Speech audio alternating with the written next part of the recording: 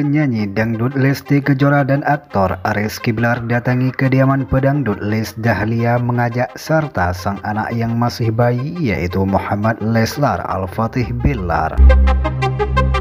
Kedatangan Lesti Kejora dan Rizky Bilar serta Abang El disambut hangat oleh keluarga besar Les Dahlia. Bahkan tak segan, Les Dahlia mengajak Lesti dan Rizky Bilar untuk room tour di rumah seharga 30 miliar itu. Terkuat, ternyata ada ruangan rahasia di rumah bergaya klasik modern dan megah tersebut. Hal itu diketahui dari video vlog dalam kanal YouTube Leslar Entertainment milik Lesti dan Ariski Bilar. Terkuat, ada satu ruang rahasia di rumah seluas 900 meter persegi itu. Ruangan rahasia tersebut ternyata adalah wall-in closet yang berada tersembunyi di balik dinding. Lesti Kejora dan Rizky Bilar bahkan terkejut saat tahu akan ruangan itu.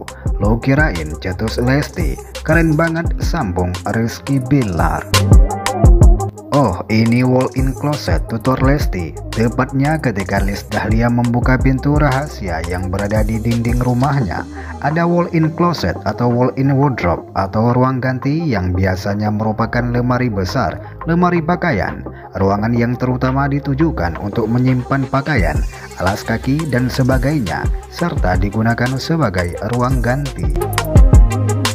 Tak pelak, Lesti Kejora jadi ingin membuat ruangan yang sama seperti Lis Dahlia. Sayang dede kayaknya bisa gitu deh, ujar Lesti pada Bilar. Les Dahlia pun meyakinkan Lesti bisa juga membuat ruangan seperti itu. Bisalah ucap Les Dahlia. Oh begitu, jadi ruangan rahasia ternyata tapi sekarang udah nggak jadi rahasia lagi pungkas Lesti.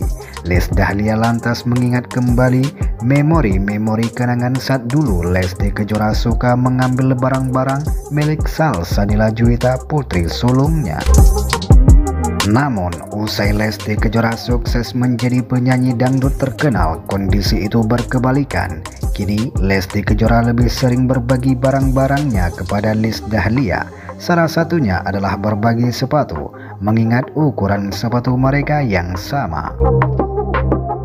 Kalau dulu dia bisa ini cari-cari. Kalau sekarang Dede yang pindahin kemanakan sepatunya sama. Anaknya udah kaya raya. Masya Allah tandas. Lis Dahlia Begitulah informasinya. Jangan lupa untuk terus mendukung channel ini Dengan cara subscribe, like, share, and comment